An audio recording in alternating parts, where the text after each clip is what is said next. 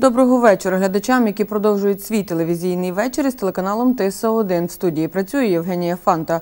Сьогодні у програмі Соціальний фактор. Що таке реформа інституту соціальних інспекторів? Скільки і на що українці пожертвували військовим? Як живеться людям з обмеженими можливостями? Про це та навіть більше. Далі не перемикайте. В Україні розпочалася виплата пенсій за листопад. Наразі уже профінансовано понад 2 мільярди гривень. Кошти знаходяться у поштових відділеннях та на банківських рахунках. Тим часом Україна готується реформувати систему соціальних інспекторів з метою виконання заходів проекту Світового банку Модернізація системи соціальної підтримки населення України. Кабмін прийняв постанову, яка забезпечить перший етап у реформуванні інституту соціального інспектора. Міністр соціальної політики Людмила Денісова зазначила, що відтепер державний соціальний інспектор матиме повноваження здійснювати контроль за призначенням допомоги, що надається з урахуванням сукупного доходу сім'ї. Себто державної соціальної допомоги малозабезпеченим сім'ям, допомоги на дітей одиноким матерям, субсидії для відшкодування витрат на оплату житлово-комунальних послуг та компенсації додаткових витрат на оплату комунальних послуг. За словами профільного міністра, контроль за цільовим використанням коштів при народженні та усиновленні дитини буде покладено на спеціалістів центрів соціальних служб для сім'ї, дітей та молоді і служб у справах дітей. Окрім того, зазначені служби будуть здійснювати обстеження умов проживання дітей, які виховуються опікунами чи піклувальниками та одинокими матерями. Такий підхід дозволить зосередити увагу соціального інспектора на адресній підтримці сім'ї та цільовому використанні коштів із державного бюджету. Контролюватимуть насамперед достовірність наданих заявником даних про доходи та майновий стан. Водночас спеціалісти центрів соціальних служб для сім'ї дітей зможуть виявляти сім'ї з дітьми, які опинились у складних життєвих обставинах наголошують у міністерстві. Держава подбала про своїх громадян і запровадила компенсацію додаткових витрат на оплату житлово-комунальних послуг. Аби отримати компенсацію, варто зробити лише два кроки. Перший крок визначити, чи має ваша родина право на її отримання. Якщо реальний дохід родини більший за сукупний прожитковий мінімум, ви не маєте права на компенсацію. Якщо дохід родини нижчий за сукупний прожитковий мінімум, ви маєте право на компенсацію. Прожитковий мінімум для дітей до 6 років 1032 гривні, для дітей від 6 до 18 років 1286 гривень, для дорослих 1218 гривень. Другий крок надати до органів соціального захисту за місцем реєстрації. Перше заяву про надання субсидії у довільній формі. Друге довідку про склад сім'ї. Третє довідки про доходи членів сім'ї. Четверте згоду на обробку персональних даних.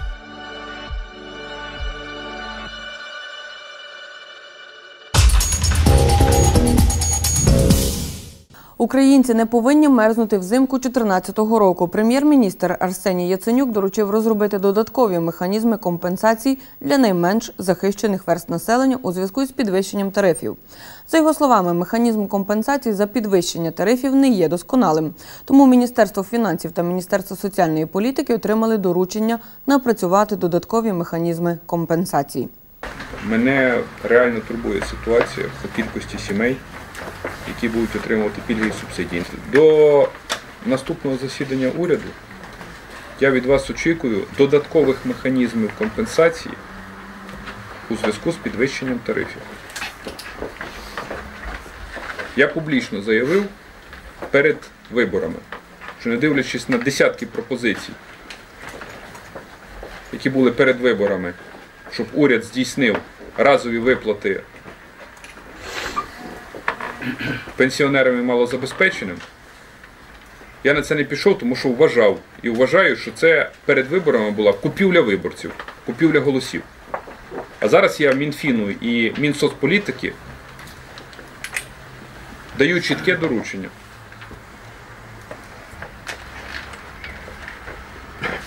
Найменш забезпечені верстви населення повинні отримати додаткові компенсатори. Субсидія у нас механізм працює. Механізм компенсації я бачу, що слабий. Змінюйте його, давайте до кінця року прогноз по фінансовому ресурсу і по кількості сімей, і по категоріям сімей, які можуть отримати додаткові кошти. Також глава уряду нагадав, що в Україні розпочато програму кредитування для заміщення газових котлів на котли з альтернативними видами пального. У свою чергу голова Державного агентства з енергоефективності та енергозбереження України Сергій Савчук повідомив, що за програмою компенсації за заміщення котлів, за якою Держагентство працює з Ощадбанком, у трьох областях вже видано кредитів на 1 мільйон 150 тисяч гривень. Він додав, що низка інших банків, які працюють з кредитами з енергозбереження, теж висловили бажання брати участь у цій програмі. Крім того, Сергій Савчук наголосив на необхідності використати на енергозбереження 440 мільйонів гривень, наданих Євросоюзом. Усього ж на розвиток енергозбереження уряд разом із Ощадбанком виділить 250 мільйонів гривень. Уже прийнято низку нормативно-правових актів, де уряд співфінансує проекти з енергозбереження. Відтак 50 мільйонів гривень виділив уряд та 200 мільйонів гривень Ощадбанк. І вже цієї зими 250 мільйонів гривень вийде на ринок твердопаливних котлів. При цьому в Україні існує багато підприємств, які виробляють ці твердопаливні котли. Те, що зима на Закарпатті має пройти під гаслом альтернативи, розуміють і обласні чиновники. Принаймні на таке вирішення питання енергозабезпечення налаштовують нових керівників усіх районів області. З ними, а також із представниками профільних відомств та спеціалістами лісової галузі, провели нараду, як зимуватиме Закарпаття цьогоріч та які плани має влада на наступний сезон. Далі у сюжеті Олександри Берегової. До 1 жовтня 2015 року усі бюджетні установи області повинні повністю перейти на альтернативне опалення. Таке доручення дав голова ОДА Василь Губаль структурним підрозділам облдержадміністрації. Вони повинні зробити розрахунки проєктів облаштування твердопаливних систем опалення. Залучати до цього будуть усі можливості. Було б дуже добре, якщо б підприємство, де працює, де більше заготовки, де директор школи того чи іншого держлізоспу ходив у школу, або діти його ходять в садочок, проявили ініціативу і допомогли е, придбати енергозамінювач в тому чи іншому селі, в одному хоча б, от так. Візьміть на себе таку ініціативу. Не тільки заміна газових котлів на твердопаливні, але й утеплення приміщень. На це зараз будуть працювати усі керівники районів. Зараз обласний департамент житлово-комунального господарства з'ясовує наявні потужності кожного бюджетного закладу. Ми пропонуємо заклади е, освіти, здоров'я, соціальної сфери вже на днях від нас отримають е, такі опитувальні листи, де ми будемо їм пропонувати свого роду провести інвентаризацію цих потужностей, які підлягають переводу. Значить, після цього ми пропонуємо, е, е, ну, ми проаналізуємо це все і в цій програмі відобразити, скажімо, ну, обов'язково етапність переводу. Тобто, спочатку ми повинні перевести е, там, де є значні потужності, де ми досягаємо ефекту, значні потужності, там, де є застаріле котельне існуюче обладнання, щоб ми не, не так не сталося, що ми виключаємо з роботи нове обладнання, відносно нове, яке може працювати. Коли завершиться процес децентралізації влади, питання опалення стане клопотом виключно районних керівників, зазначив голова обласної ради Володимир Чубірко. Місто Ужгород зекономило на знищення теплоцентралі біля 30 мільйонів щорічно, правильно? Така сума. Щорічно вони не витрачають 30 мільйонів. У них сьогодні бюджет розвитку 50 мільйонів. У них все добре. Ми дійдемо до того, що держава нам поставить умови. Ми прийдемо в свої райони, міста. У нас буде певна сума, і ми її будемо ділити. Загальна обласна програма переходу на альтернативні джерела опалення буде розроблена найближчим часом і затверджена депутатами. Відповідно, визначать фінансування з обласного бюджету та обговорять можливість залучення європейських коштів.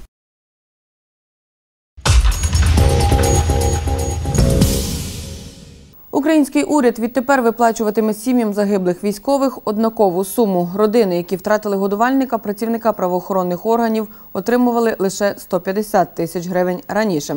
А от сім'ї, які втратили військовослужбовця збройних сил України у зоні АТО, отримували 609 тисяч гривень.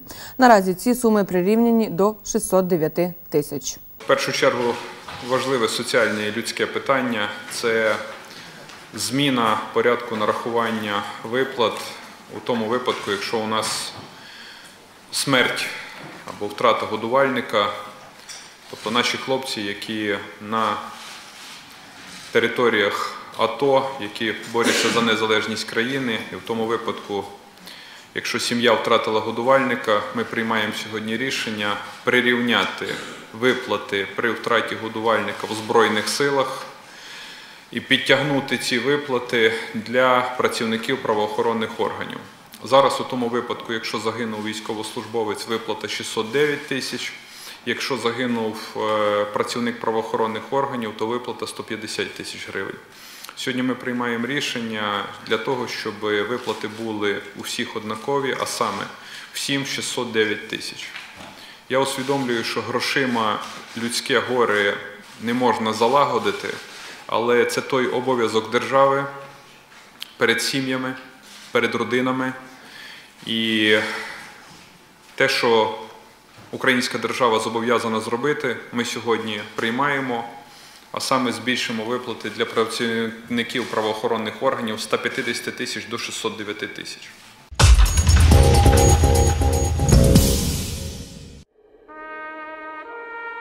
Привіт, мам. Пам'ятаєш, як я просив у тебе брата? Тепер в мене їх аж 22. Бачила б ти нас на тренуваннях. Здається, ще вчора ганяла м'яча у дворі.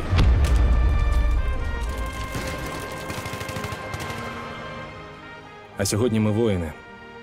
Сильні, відважні.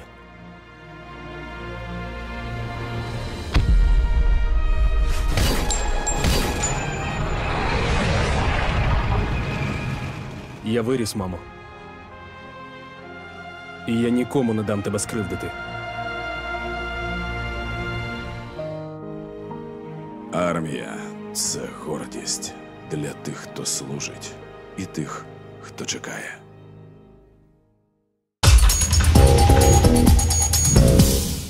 Часом свідомі українці продовжують підтримувати вітчизняну армію. На початку листопада в рамках акції Підтримай українську армію на рахунках Міноборони України у якості допомоги Збройним силам знаходилось понад 150 мільйонів гривень, які надійшли від юридичних і фізичних осіб.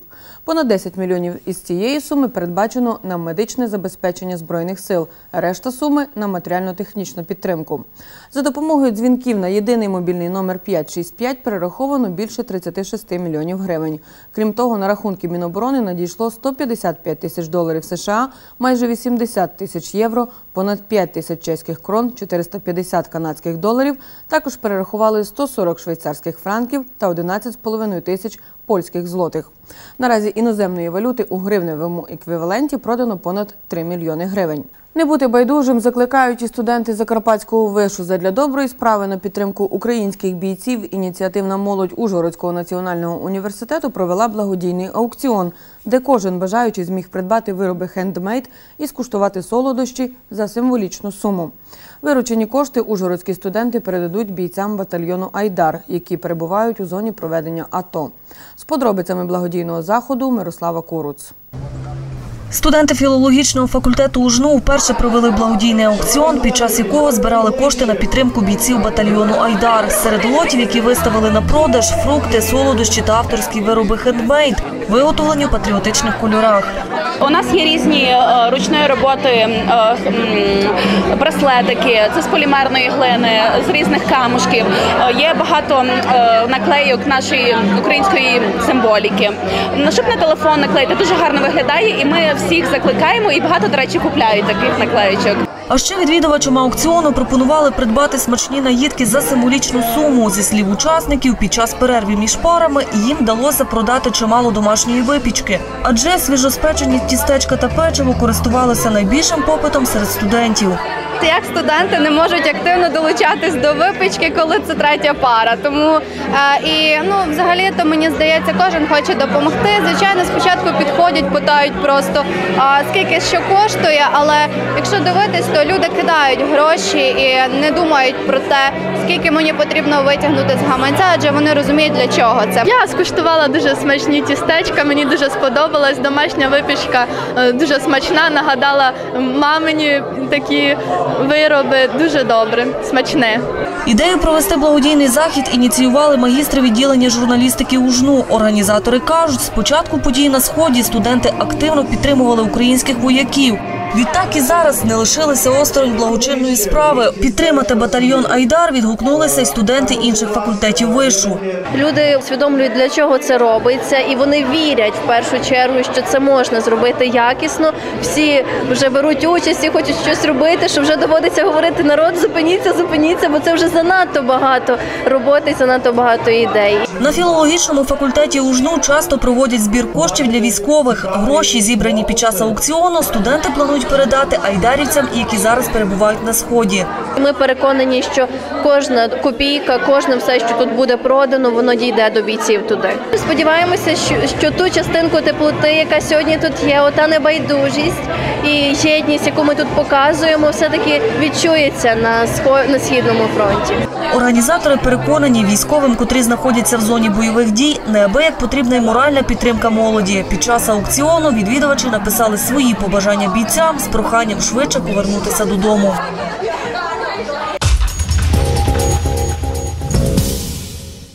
10 листопада розпочинається другий етап очищення влади. Про це повідомив прем'єр-міністр України Арсеній Яценюк. Він нагадав, що відбулася перша хвиля звільнення високопосадовців на виконанні закону про очищення влади. Тепер друга хвиля по всіх органах державної влади і управління, в тому числі правоохоронних органах. Третє питання, яке сьогодні ми повинні на уряді розглянути, це проведення другого етапу люстраційної перевірки у всіх органах державної влади. Значить, будь ласка, з 10 числа проект розпорядження готовий. Першу хвилю високопосадовців ми звільнили. Тепер друга хвиля по всім органам державної влади і управління, в тому числі по всім правоохоронним органам. З 10 листопада створення відповідних комісій і проведення перевірок та прийняття рішень про звільнення з органів державної влади і управління і правоохоронної системи осіб, які підпадають під дію закону України про очищення влади. Такими повідомленнями завершуємо сьогоднішню програму Соціальний фактор. Уже наступного тижня розкажемо про нові події в українському соціумі. Нагадуємо, що ви можете надсилати листи на електронну адресу, яку бачите на екранах. На цьому у мене все. До зустрічі і на все добре.